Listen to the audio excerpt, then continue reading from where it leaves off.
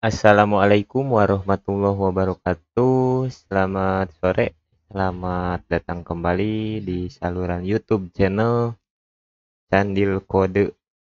Balik lagi bersama saya. Uh, hari ini saya bagikan uh, source kode aplikasi hmm, pondok pesantren ya, CMS ini buat kalian yang mau belajar bisa dipelajari dan juga dikembangin. Aplikasi ini uh, open source ya. Gratis.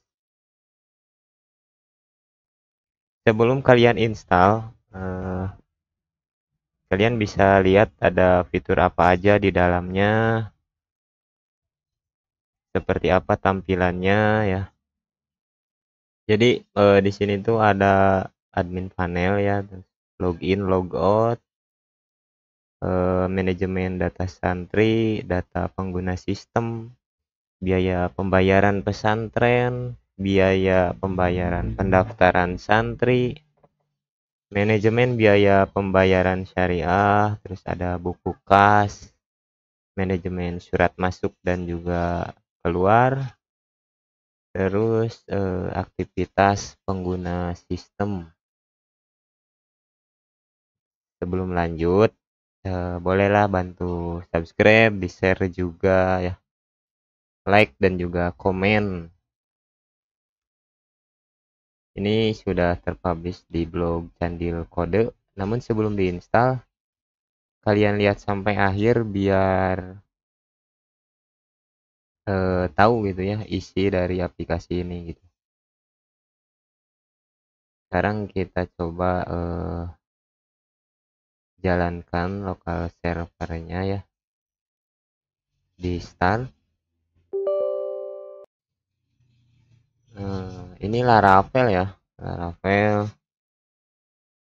Kita panggil dulu nama foldernya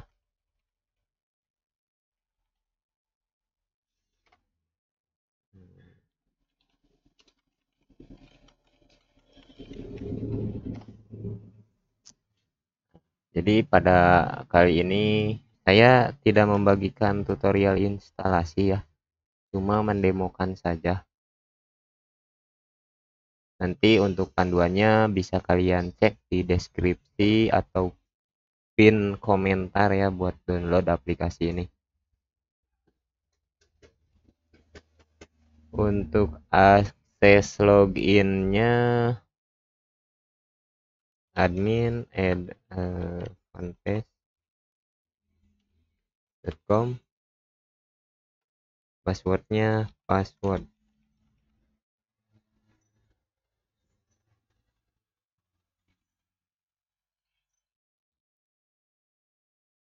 Nah ini udah udah login sebagai administrator ya.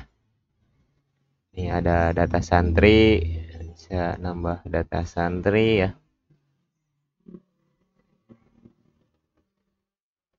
Lalu data pengguna bisa nambah data pengguna ini pilih role.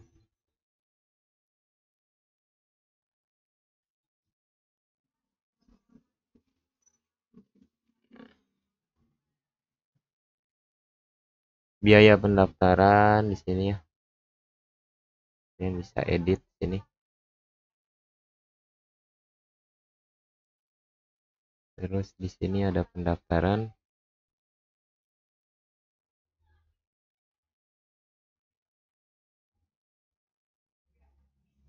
Belum tersetting ini ya. Hmm.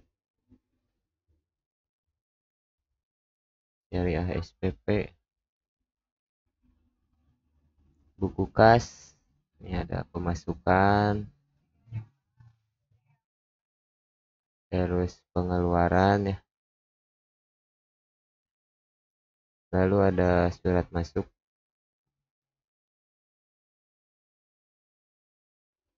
Ada surat keluar. Di sini ada log aktivitas.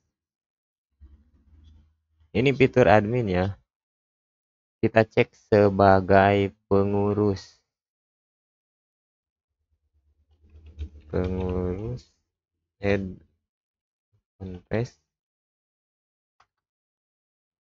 com. Passwordnya password. Nah ini pengurus. Sama ya. Data santri data pengguna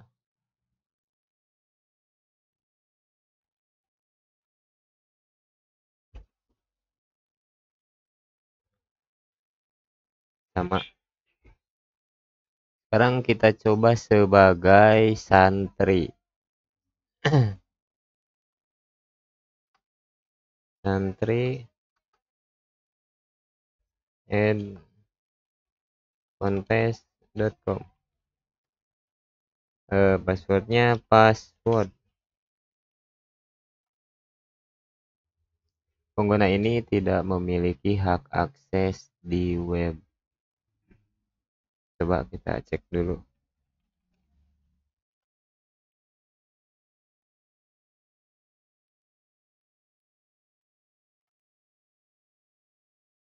Data pengguna.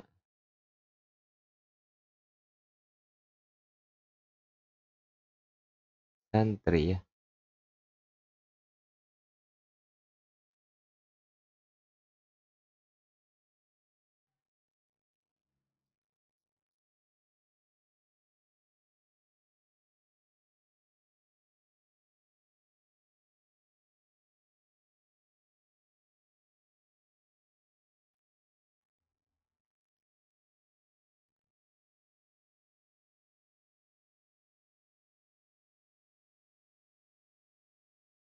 oh ya nggak bisa.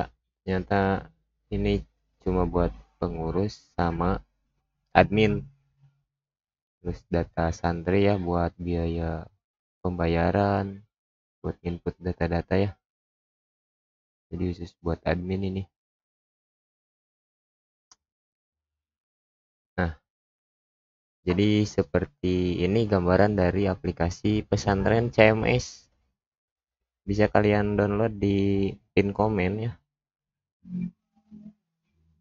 Uh, cukup sekian video hari ini. Semoga bermanfaat. Wassalamualaikum warahmatullahi wabarakatuh